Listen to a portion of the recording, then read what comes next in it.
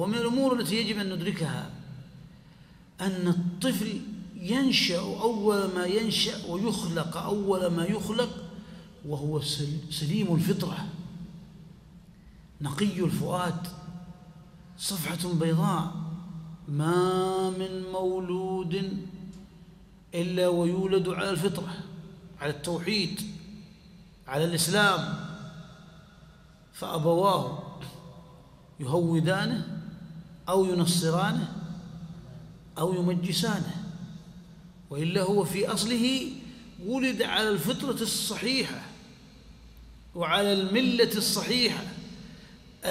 الانحراف يأتيه من التربية. لهذا حافظ على صفاء فطرة ولدك ابنا كان أو بنتا. حافظ بالتربية الصحيحة والتعليم المبني على العقيدة الصحيحة والعبادة النبوية والأخلاق الكريمة والمبادئ القويمة.